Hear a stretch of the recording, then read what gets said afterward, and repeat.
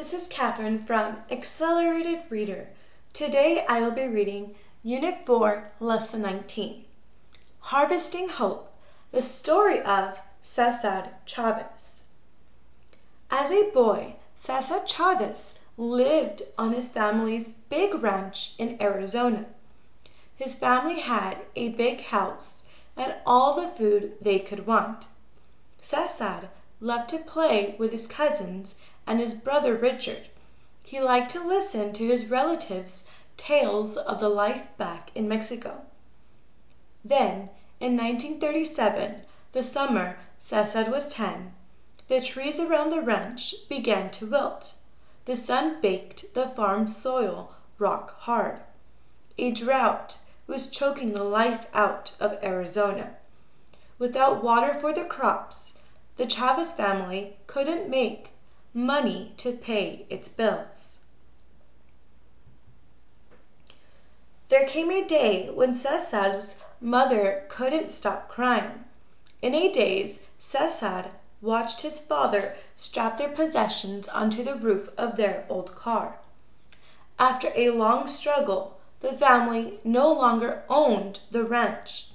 They had no choice but to join the hundreds of thousands of people fleeing to the green valleys of California to look for work. Cesar's old life had vanished. Now he and his family were migrants, working on other people's farms, crisscrossing California, picking whatever fruits and vegetables were in season. When the Chavez family arrived at the first of their new homes in California, they found a battered old shed. Its doors were missing, and garbage covered the dirt floor. Cold, damp air seeped into their bedding and clothes. They shared water and outdoor toilets with a dozen other families, and overcrowding made everything filthy. The neighbors were constantly fighting, and the noise upset Cesar. He had no place to play games with Richard. Meals were sometimes made of dandelion greens gathered along the road. Cesar swallowed his bitter homesickness and worked alongside his family. He was small and not very strong, but still a fierce worker. Nearly every crop caused torment. Yanking out beets broke the skin between his thumb and index finger. Grapevines sprayed with bug killing chemicals made his eyes sting and his lungs wheeze. Lettuce had to be the worst. Thinning lettuce all day with a short handled hoe would make hot spasms shoot through his back. Farm chores on someone else's farm instead of on his own felt like a form of slavery. The Chavez family talked con- constantly of saving enough money to buy back their ranch. But by each sundown, the whole family had earned as little as 30 cents for the day's work.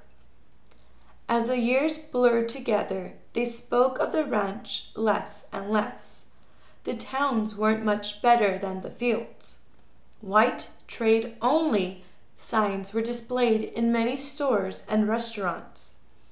None of the 35 schools Cesar attended over the years seemed like a safe place either. Once, after Cesar broke the rule about speaking English at all times, a teacher hung a sign on him that read, I am a clown. I speak Spanish. He came to hate school because of the conflicts, though he liked to learn. Even he considered his eighth grade graduation a miracle. After eighth grade, he dropped out to work in the fields full time. His lack of schooling embarrassed Cesar for the rest of his life. But as a teenager, he just wanted to put food on his family's table. As he worked, it disturbed him that landowners treated their workers more like farm tools than human beings. They provided no clean drinking water, rest periods, or access to bathrooms. Anyone who complained was fired, beaten up, or sometimes even murdered.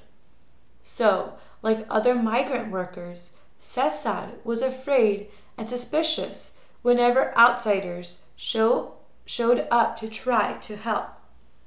How could they know about feeling so powerless? Who could battle such odds?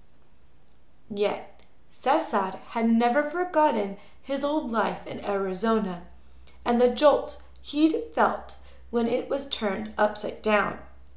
Farm work did not have to be this miserable. Reluctantly, he started paying attention to the outsiders. He began to think that maybe there was hope. And in his early 20s, he decided to dedicate the rest of his life to fighting for change. Again, he crisscrossed California, this time to talk to people into joining his fight. At first, out of every hundred workers he talked to, perhaps one would agree with him. One by one, this was how he started. At the first meeting Cesar organized, a dozen women gathered. He sat quietly in a corner. After 20 minutes, everyone started wondering when the organizer would show up. Cesar thought he might die of embarrassment. Well, I'm the organizer, he said, and forced himself to keep talking, hoping to inspire respect with his new suit and the mustache he was trying to grow. The women listened politely, and he was sure they did so out of pity. But despite his shyness, Cesar showed a knack for solving problems. People trusted him. With workers, he was endlessly patient and compassionate.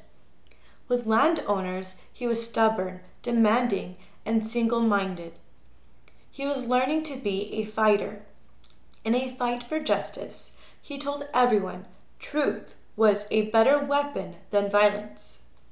Nonviolence, he said, takes more guts. It meant using imagination to find ways to overcome powerlessness. More and more people listened. One night, 150 people poured into an old abandoned theater in Fresno. At this first meeting of the National Farm Workers Association, Cesar unveiled its flag, a bold black eagle, the sacred bird of the Aztec Indians.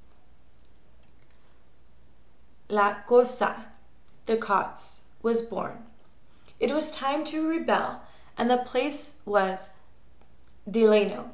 Here in the heart of the lush San Joaquin Valley, brilliant green vineyards reached toward every horizon.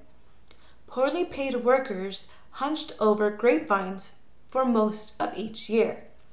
Then, in 1965, the vineyard owners cut their pay even further. Cesar chose to fight just one of the 40 landowners, hopeful that others would get the message. As plump grapes dropped, thousands of workers walked off the company's fields in a strike. Or, huelga. Grapes, when ripe, do not last long. The company fought back with everything from punches to bullets. Cesar refused to respond with violence. Violence would only hurt La Causa. Instead, he organized a march, a march of more than 300 miles. He and his supporters would walk from Delano to the state capital in Sacramento to ask for the government's help. Cesar and 67 others started out one morning. Their first obstacle was the Delano police force, 30 of whose members locked arms to prevent the group from crossing the street. After three hours of arguing in public, the chief of police backed down. Joyous marchers headed north under the sizzling sun. The rallying cry was Si se puede, or Yes, it can be done. The first night they reached Ducor, the marchers slept outside the tiny cabin of the only person who would welcome them. Single file they continued, covering an average of 15 miles a day.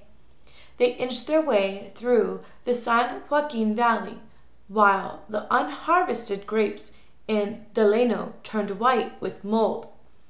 Cesar developed plain, painful blisters right away, and he and many others had blood seeping out of their shoes. The word spread. Along the way, farm workers offered food and drink as the marchers passed by. When the sun set, marchers lit candles and kept going. Shelter was no longer a problem. Supporters began welcoming them each night with feasts. Every night was a rally. Our pilgrimage is the match, one speaker shouted, that will light our cause for all farm workers to see what is happening here. Eager supporters would keep the marchers up half the night talking about change. Every morning the line of marchers swelled, Cesar always in the lead. On the ninth day, hundreds marched through Fresno. The long, peaceful march was a shock to people unaware of how California farm workers had to live. Now, students, public officials, religious leaders, and citizens from everywhere offered help. For the grape company, the publicity was becoming unbearable. And on the vines, the grapes continued to rot. In Modesto, on the 15th day, an exhilarated crowd celebrated Cesar's 38th birthday. Two days later, 5,000 people met the marchers in Stockton with flowers, guitars, and accordions. That evening, Cesar received a message that he was sure was a prank. But, in case it was true, he left the march and had someone drive him all through the night to a mansion in wealthy Beverly Hills.